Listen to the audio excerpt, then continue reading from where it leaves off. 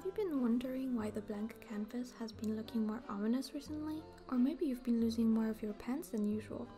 Well, the reason seems pretty obvious to me, and that just has to be demons, materializing as artists' struggles and getting stronger with Halloween approaching. So today I'll be imagining what those demons look like and animating them. The first demon I'll be animating is imposter syndrome, a struggle no AI artist will ever go through. Imposter syndrome is basically feeling like a fraud or not deserving of the success you've achieved. Many artists struggle with this, and I would say I'm one of them, but for some reason, saying that I struggle with imposter syndrome feels pretentious. And I guess that's part of the whole struggle. We don't want to be pretentious about our art, so we talk ourselves down, sometimes to the point where we become unaware of whether it deserves the praise or not.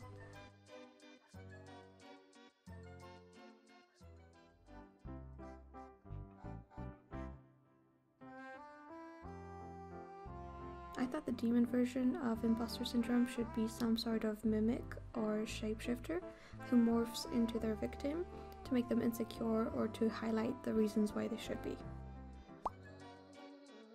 The next demon is the pen stealing goblin. This one is a sillier one, but I think it's still an important issue we all face. I imagine that little goblins are actually the reason for all of our disappearing pens. They probably live in our walls and love exploring our workspaces. And the interesting thing about them is that they don't even really care about the pens themselves.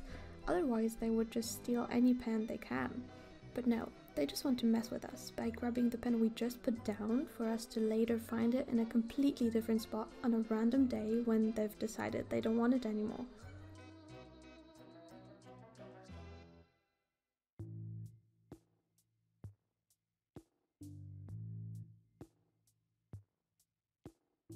This one probably gave me the least trouble to animate, maybe because I was lazy with it, or maybe because animating a little goblin is super fun, or maybe it's a bit of both. Either way, I'm quite happy with this one. Then there's the blank page. Now, this one's a scary one, and personally, it's also one of my most hated art related struggles.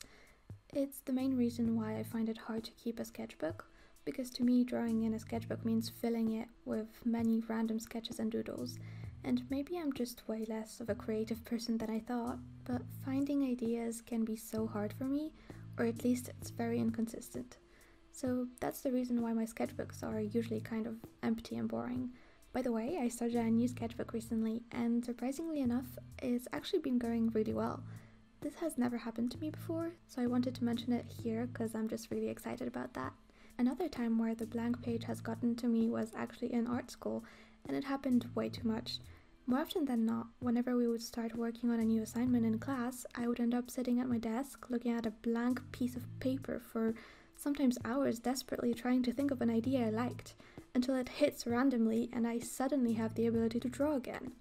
It is heinous to experience, and I do not wish it upon any other artist.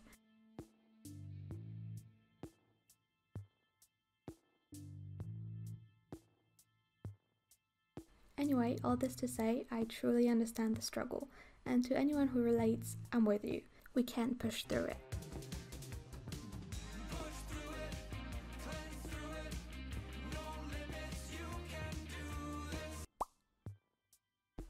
And finally, we have burnout.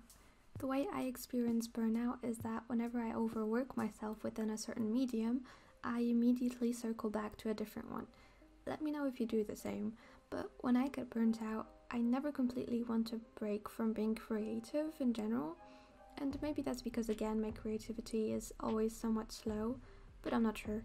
Either way, I think it's fair to say that forcing your creativity or passion whenever it starts slowing down is basically how you end up with burnout. So, what a better way to represent it than a literal fire creature? You can obviously tell that I got heavily inspired by Calcifer from Howl's Moving Castle, but unlike Calcifer, burnout appears whenever he can sense an artist's burning passion for their craft. He seems like he wishes to help, but very soon he ends up taking over your body and overworking it to its limits until you completely run out of fuel and the fire consumes you whole.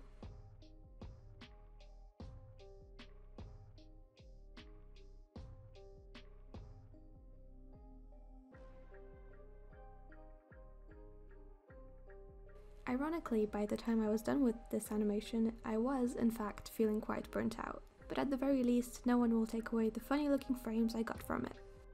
I wish I could have animated more of these, it was quite fun, but hey, there's always next year. So let me know if you have some artist struggles slash demons of your own that you'd like me to tackle for you. Thank you so much for watching, make sure to like this video, subscribe, and I'll see you in the next one. Bye!